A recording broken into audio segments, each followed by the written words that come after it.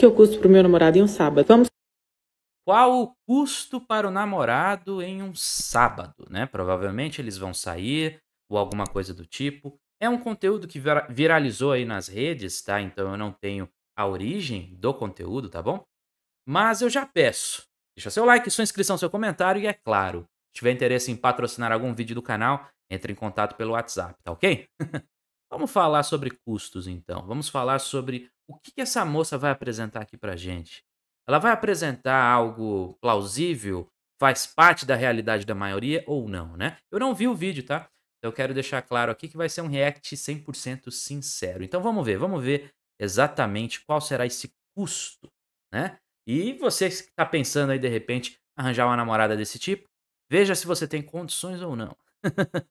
custo pro meu namorado em um sábado. Vamos começar com o meu cabelo, que foi 150 reais. Cílios, 150 reais, que ele também me deu. Eu me arrumo toda pra ver ele todo final de semana. Ele paga tudo. Almoço. Eu sempre escolho a dedo os restaurantes que eu vou, então 480 reais no self-service? esse foi um rodízio de carne e custou 480 reais. Caramba. Eu quase não como, mas tinha japa, eu queria comer um japa e um pedacinho de carne, então eu quis ir no rodízio por causa disso. Poxa vida, pô, rodízio.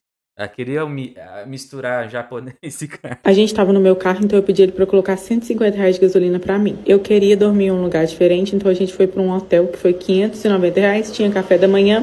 Eu queria fazer alguma coisa diferente, então por isso que a gente foi no hotel, mesmo sendo na minha cidade. De tarde eu quis tomar um sorvetinho da Migarpa, que é bem caro, mas foi 55 reais porque eu comi um pequenininho e ele também.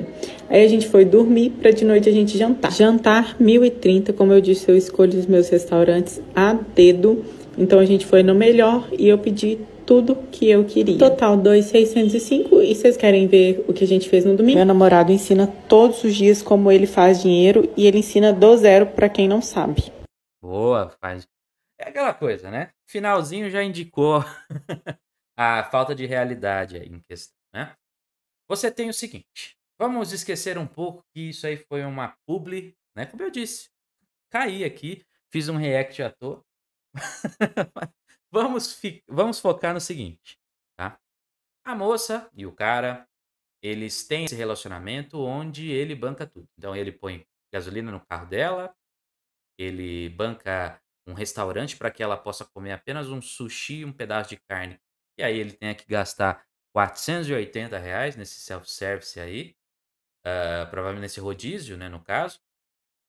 Depois, à noite, mais 1.030, porque ela pediu o que ela queria num restaurante que ela seleciona a dedo, né? E com seleciona a dedo, ela provavelmente ela busca conforme o preço, não exatamente quanto a qualidade, tá? Não me pareceu nesse vídeo que é tudo é isso. Ah, se o sorvete é caríssimo, então eu posso tomar. Se o, o lugar é, é o rodízio mais caro da cidade, é para lá que eu vou. É quase como se todos, todos os preços citados aí, tá? Indicassem o valor dela. Tá ok? Então ela fez o vídeo, primeiro, para demonstrar que, olha só como eu tô vivendo bem com a renda que eu tô fazendo na internet e aquela coisa toda. Sim.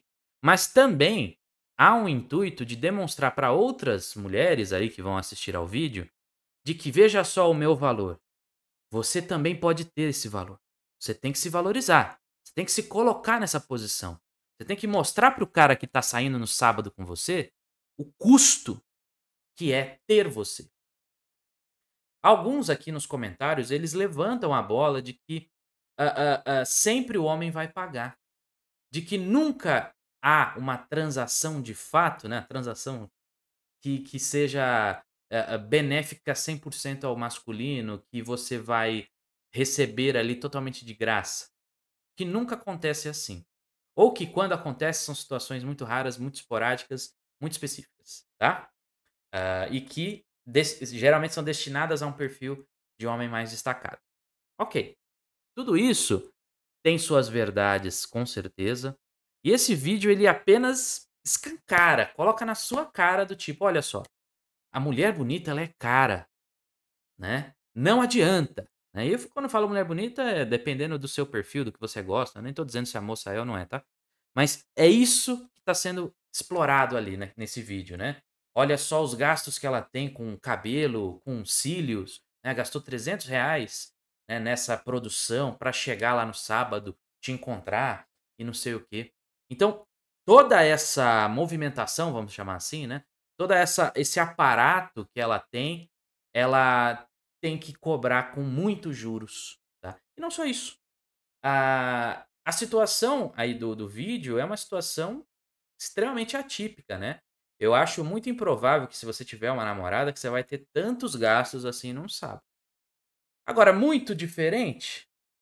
Aí, infelizmente, não. Aí eu não posso negar que o custo, quando você se coloca nessa posição de provedor e etc., é bem alto.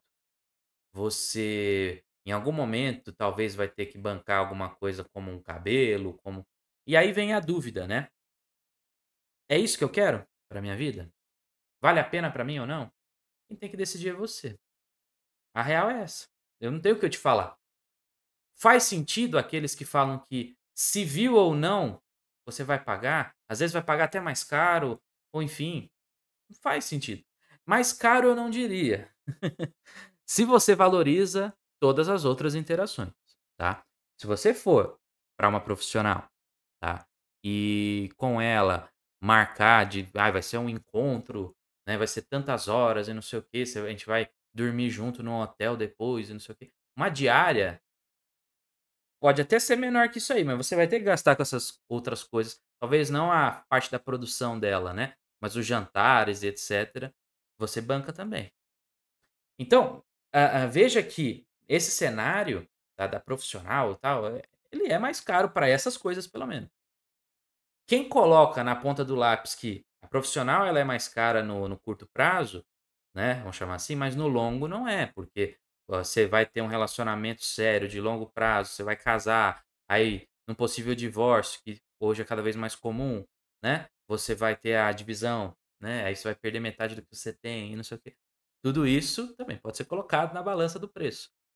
No final, tudo é um preço, tudo está ligado a um mercado. E é chato quando a gente fala de mercado e alguns se incomodam, principalmente algumas, né? Se incomodam com o termo. Essa é a verdade ela não quer ser vista como um produto, né? Até porque ela não é literalmente um produto. Porém, a maioria se comporta como tal.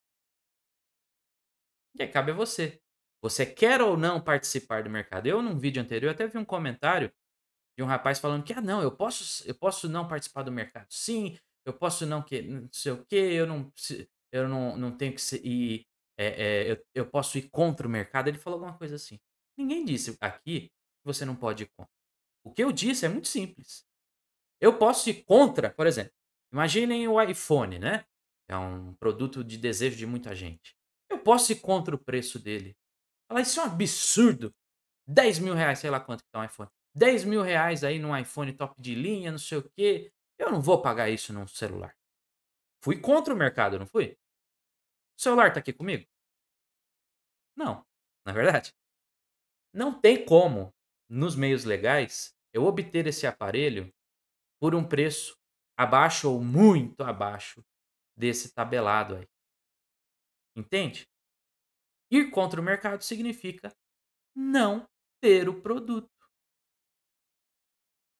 Você pode não ter o produto, ninguém está falando para você ter.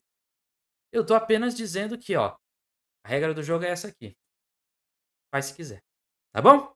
Então é isso, cowboys. Espero que você tenha curtido o vídeo de hoje. Se você curtiu, deixa seu like, sua inscrição e o seu comentário. Tamo junto e até a próxima.